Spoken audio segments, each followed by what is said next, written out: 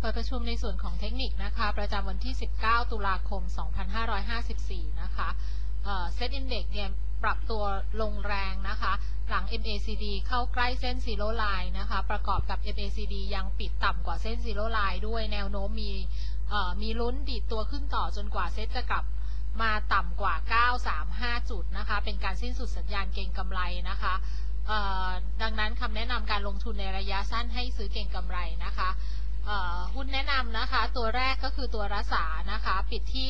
1 บาท 74 นะคะ ปิดเหนือเส้นค่าเฉลี่ย EMA ทุกเส้นนะคะ ประกอบกับ indicator ทุกตัวให้ค่าสัญญาณบวก แนวโน้มดีดตัวขึ้นต่อนะคะ ตัวนี้เราแนะนำซื้อเก็งกำไร แนวต้านอยู่ที่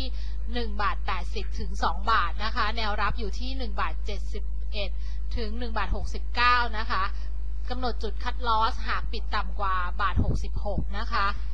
ตัวที่ 2 นะคะ ตัว Tasco นะคะ ปิดที่ 53 บาท 25 นะคะ ตัวนี้เกิดสัญญาณ Golden Cross นะคะ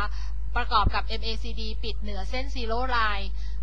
แนวโน้มเป็นขาขึ้นนะคะ แนะนำซื้อเก็งกำไร แนวต้านอยู่ที่ 55 บาท 50 นะคะ ถึง 58 บาท 50 แนวรับอยู่ที่ 52 บาท 75 นะคะ ถึง 52 บาท 25กำหนดจุดคัดลอส หากปิดต่ำกว่า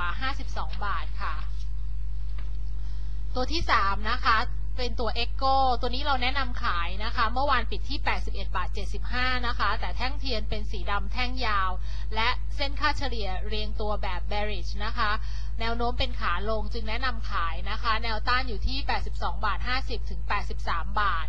แนวรับอยู่ที่ 80 ถึง 78 บาทค่ะ ตัวสุดท้ายนะคะ ตัวพฤกษา ตัวนี้เราก็แนะนำขายเช่นเดียวกันนะคะ เมื่อวานนี้ปิดที่ 12 บาท 80 นะคะ ได้ปิดต่ำกว่าเส้นค่าเฉลี่ย EMA ทุกเส้นนะคะ ประกอบกับ RSI ให้ค่าสัญญาณลบนะคะ แนวโน้มเป็นขาลงนะคะ แนะนำขายแนวต้านอยู่ที่ 13 บาท 10 ถึง 13 บาท 50 นะคะ แนวรับอยู่ที่ 12 บาท ถึง 11 บาทค่ะ ปิดประชุมในส่วนของเทคนิค